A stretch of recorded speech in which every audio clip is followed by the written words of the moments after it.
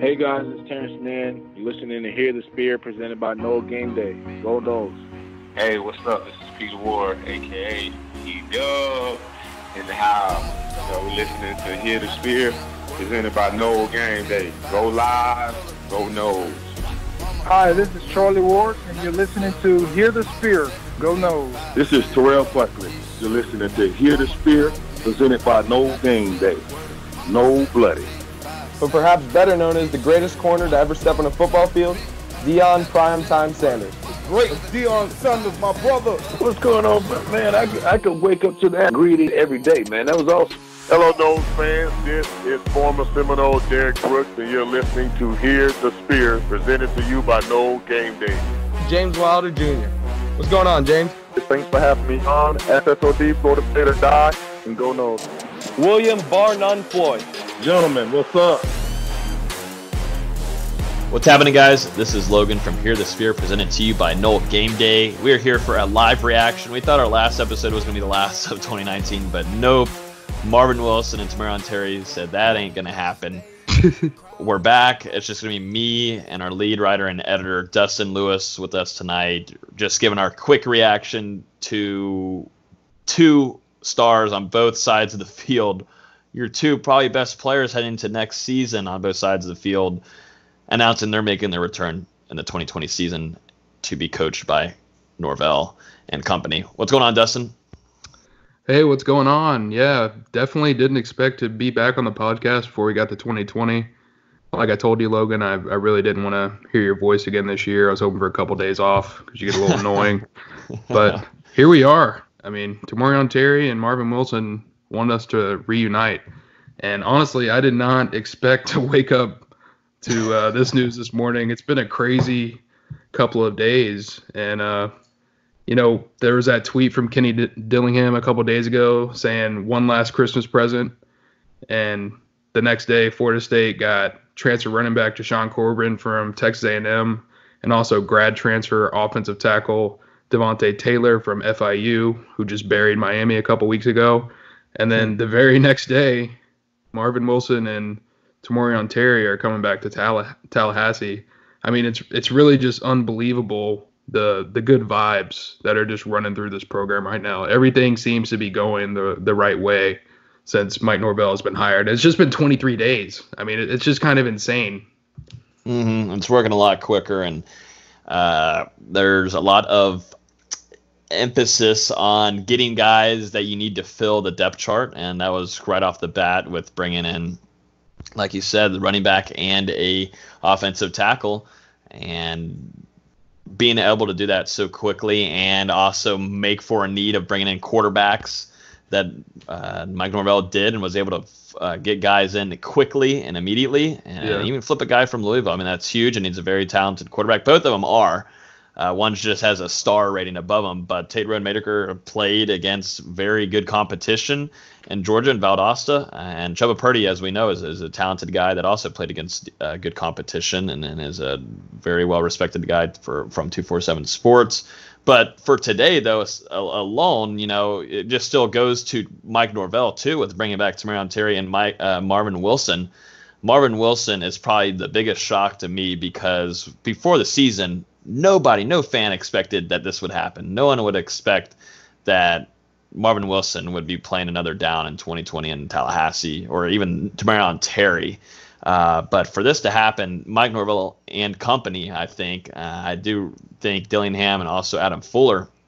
I already know how Odell Haggins and, and relationship with Marvin Wilson. I know that's tight, but being able to sit there and talk offensively with Tamorrion Terry and Mike Norvell and Dillingham, Dilly Dilly, uh, to convince them, you know, to convince T- Terry to stay is huge. They need it on offense. You're losing Cam Akers, uh, and you know you bring back a wide receiver corp next hey, season. Hey, hey, hey! Let me interject huge. there. Maybe not. Maybe you're not losing Cam Akers. I don't want to. I don't want to get a rumor started or anything, but Cam Akers replied to Tamorrion Terry's um, Instagram post about return to Florida State. I don't know what the the freaking emoji is where like the two arms are like grabbing each other. Let but me see. It was it was that, and then he said, "Let's do it." Let's see what we got I, here. I swear, it, it was it was on Tamorrion Terry's Instagram comments, Let's see what we got here. Let's just since you know Dustin isn't you know he he just he's good with his writing. Let me go do my social media thing here and see what he's emphasizing here. Please. Let's see. Let's see if Cam. Let's see. I guess I got to load the comments Yeah, Tamorrion Tori, Tamorrion Terry's Instagram comments. on his latest post. Yeah, his post about returning to Florida State. Okay. Uh, I guess I got to go through like 250 comments here. Yeah, Um, but just talk about fast. while I'm looking for this. Talk about Tamorrion Terry and the impact this is going to make coming into next season for you know the quarterback situation too, but having a threat there. Yeah, I mean, really, this is this is Florida State getting back one of their their top two offensive players. Cam Akers obviously is is the best player on Florida State Florida State's offense, but Tamorrion Terry just creates a different kind of threat on the outside. I mean, we really saw what he could do in 2018 when he was still kind of developing, but this year he took steps forward uh, as a route runner and ended up with over a thousand receiving yards. He scored eight touchdowns, even despite the the inconsistencies at quarterback with James Blackman and Alex Hornibrook, Alex Hornibrook switching back and forth. And also uh, another thing that I've been hearing is Tre'Shaun Harrison is potentially going to be pulling his name out of the transfer portal and, and returning as well. So this is now a potential. This is a very good receiving core going into 2020. You've got senior DJ Matthews. You've got Tamorrion Terry, Ontaria Wilson, Keyshawn Helton, who went down with a season-ending injury against Clemson. Uh, Wilson hasn't played since being hurt against Wake Forest. And then you also have the young guys, Jordan Young and Warren Thompson, who's expected back. You add Harrison to that group, and then now there's some there's some other stuff going around on Twitter that, um, Jesus, Demarcus Adams. Sorry, couldn't could not remember his name for a second because I didn't have it written down here. But Demarcus Adams could also be coming back, former four-star receiver who put his name to the transfer portal during the season. So, Florida State's receiving core next year. You also add Brian Robinson, Ja'Khi Douglas, Kentron Poitier in the early signing period. You still have Malachi Wideman committed, who has said he plans to sign with FSU in February. Not really too many question marks there. So this, this group Yeah. of receivers is now extremely talented going into 2020. I mean, it's it's hard to put into words just how much talent Florida State now now has on the outside, and you got to give a lot of credit to Ron Dugans here for sure. Hmm most certainly. I was looking at the comment here that Cam Akers put on Tamorrion Terry's post about him announcing the video, and he put a handshake emoji, and um, he said, uh, "Let's see here." Uh, he said, "Let's get to work," or oh no, he said, "Let's go," and he put the handshake emoji. Yeah, yeah. see, I, Um, I, Uh, I don't know what it means, but yeah, yeah. I don't know. I, I wouldn't. I wouldn't expect that to happen. He's declared, but you never know with this what's going on right now. I like I said, I never expected it from Marvin Wilson. I did say on here though multiple times on the podcast saying you know it's just I'm just curious why he hasn't announced it. Maybe it's just because he's helping out, pretty much coaching with Odell Haggins in the defensive line. Uh, we haven't heard anything about him making an announcement. I thought his would even be before Cam Akers. I thought it was just very odd uh, that it hadn't came out yet. Uh, so uh, it'll be interesting to see what. And I'm and I told myself I wouldn't say it interesting anymore. So I got to find another word. But it's not 2020 yet. It's not 2020. But it's it's going to be fun to see these two back and Marvin Wilson. You know, one thing that I am excited uh, about is, and you know, we're also expecting Cory Durden to return. So you're looking at the mob making a return back again. You know, oh yeah, Wilson and Robert Cooper and Durden, they also they commented and said we're call we call it the mob, and these three big boys will return for a second season together. Uh, Marvin Wilson, Robert Cooper, Mar- and uh, Cory Durden will be a, a, a nasty threat to offensive offensive lines heading into next season. Well, let's talk about it because I mean this the the starting front of this defensive line and also the depth behind it. There were some question marks going into the early signing period, but now with Durden returning and Marvin Wilson also returning, some of those questions have been answered. I mean, you have there uh, Adam Fuller is going to run more of a four-three defense. So you have Janarius Robinson and ex- uh, Joshua Kaindoh, who's also expected to return on the defensive ends, and then you have Marvin Wilson, Cory Durden on the inside. Behind them, you have Robert Cooper, Cedric Wood, who looked pretty good as a backup this year. The guy you love, Logan, Dennis Briggs, Mhm. Tru Thompson, who got some time, Malcolm Ray, who we've heard really good things about coming into Florida State. Yeah. And then there's still some other guys who redshirted this year Darren McClendon, Curtis Van, and Quashon Fuller, who could all take steps forward during the offseason and become contributors. So the defensive line and the wide receiving core just got a, a whole lot better today. And um, just un, unimagin- unimaginably good news for, for Florida State. And credit to Mike Norvell and his new staff coming in.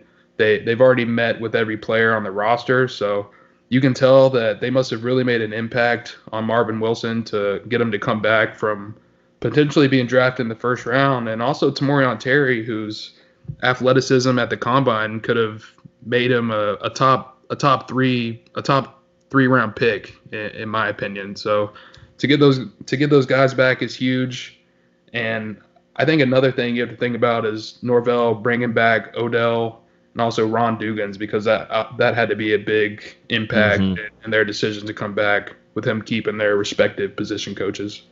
Yeah, it seems like Mike Norvell is well. It doesn't seem he is making smart, smart decisions. Obviously, bringing back Ron Dugans, I think a lot of fans were really excited about that hire, I guess you can say. But retaining him, and of course Odell Haggins. I mean, Florida State fans love them some Odell Haggins, and I mean they he deserves the love, obviously, for the work that he's done and how he re- represents Florida State. But this played a vital role under Mike Norvell too. I think it's time to start giving some big mad respect for what he's doing. He's going after guys immediately. He came in with a plan. It's pretty obvious now that this had been going on for a while. Uh, he was doing things while at Memphis that was getting him prepared for Florida State to make an impact and be able to talk with recruits and, and get them here and, and visit Florida State quarterbacks to come visit Florida State and just pretty much fall in love with it immediately because I mean, you, it's rarely you get quarterbacks that way, but also you bring in this Florida State landed two five stars today in a span of 20 minutes, uh, and I, I'm ecstatic for what Mike Norvell will do next. I think it's good to speculate now. Maybe some other players. I'm I'm Ham Hamsah Nasirildeen is one that I would be interested to see if he would stay too. That is probably your second best defensive player. I mean, you could argue he could be your top defensive player from the season. Uh, he was absolutely spectacular. He was last year, but I mean, he started getting a lot more national attention at the end of the season. His name was talked about continuously on the air while uh, it was being uh, on the SEC network, uh, talking about how he just flies all over the field and makes about every tackle you can think of. And between before the first half or so, he's already racking up double digits uh, tackle tackle stats, which is he, he's just an, incredible. And I would I would be interested to see he went down with an apparent knee, uh, leg injury. We heard it was something to do with his knee, and he's got to figure out now if he wants to stay in Tallahassee and work under T.J. Rushing and, and Chris Marve and Adam Fuller and his position groups if if this will fit well for him because Florida State would really love it. It'll be icing on the cake with a cherry on top to have both Marvin Wilson and Hamsah Nasirildeen, and you're bringing back Jaden Wood, Jaden Lars Woodbey, Asante Samuel Jr., Akeem Dent, hopefully Travis Jay That defense, I think fans, Cory Durden, Robert Cooper too, who's only getting better every season. Uh, and you bring a Janarius Robinson, Joshua Kaindoh. This defense could be absolutely stupid if all of them return healthy enough. Uh, and I, don't know if I'm missing any names, but it, it could be could get really silly in Tallahassee. Mari Gaynor. I mean, Yeah. you've got you've got the guys coming in, Demori Tate. Uh, plenty plenty of good guys coming in on the defensive side of the ball in Tribe 20, and Mike Norvell is still trying to add to that by the time it's all said and done in in February. So yeah, like you said, with with a new defensive coordinator in place, um, a, a real focus on the defensive side of the ball with this staff having five on-field assistants dedicated to defense. I think there's a, a really good potential for the Seminoles to have a resurgence on, on that side of the ball because, I mean, Florida State from from when it was a national power and winning national championships and to what it what it has become now, Florida State's been about hard hitting defenses that shut down opposing teams, force turnovers, and keep the offense in, in favorable position, and that just hasn't happened the last couple years. So that's something that's definitely got to change. And Mike Norvell is looking like he's going right at it, along with the offensive line. I mean, he's done a great job at hitting all of Florida State's needs so far. Mm-hmm, exactly. Defense in Tallahassee is a big, not only for, you know, its essential reasons, but also motivation and hype and bringing energy to team to the team as a whole on that sideline. Big hits, making plays, interceptions, DBU, all that kind of energy plays a vital role in Florida State's success, and it has been that way for a lot of years. It's been lacking, like Dustin Lewis said, and uh, you know we could. uh, it has been lacking quite a bit, and but hopefully, you know, with what a lot of these. What, what's happening now is that you know we saw an effect with recruits saying they, they believe in Mike Norvell and they like what they see from him, but guys that he has just met that have been at Florida State for a long while, like Marvin Wilson, like Tamorrion Terry, are on the same page as Norvell and I do expect, I wouldn't be shocked if you see more players uh, that were maybe contemplating leaving Florida State or going to the NFL draft. I wouldn't be surprised, or, training for the NFL draft, I wouldn't be surprised if some make the change because whatever Mike Norvell is telling them in private meetings or at team meetings, it's working. And if it's anything like he had during the press conference, which he was talking, where he switched his tone real quick uh, and got everybody's attention, it got me from typing to actually look over at the screen uh, and it kind of got chills from. If he's doing that kind of stuff with family members and players in there talking to him, I feel like he could maybe maybe make me and Dustin put on pads and give us a try to go on board drills against Marvin Wilson.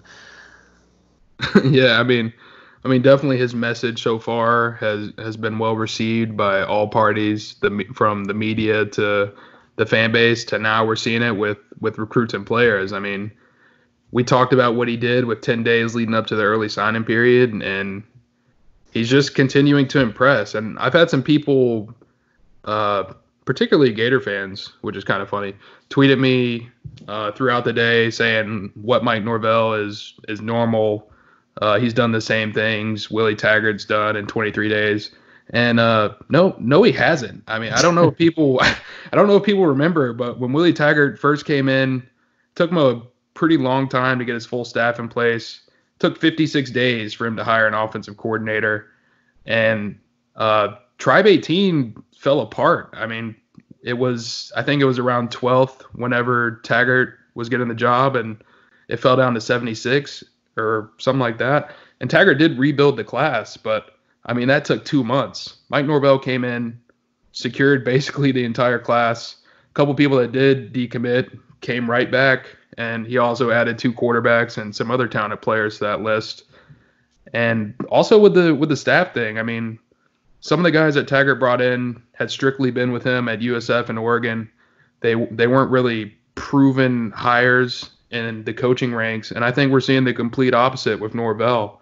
Basically, every hire that Florida State has made, whether it be on-field assistants, which uh, Norvell's staff is now at nine out of ten I'm expecting the last one, David Johnson from Tennessee, to be announced on January 2nd or so after after their bowl game.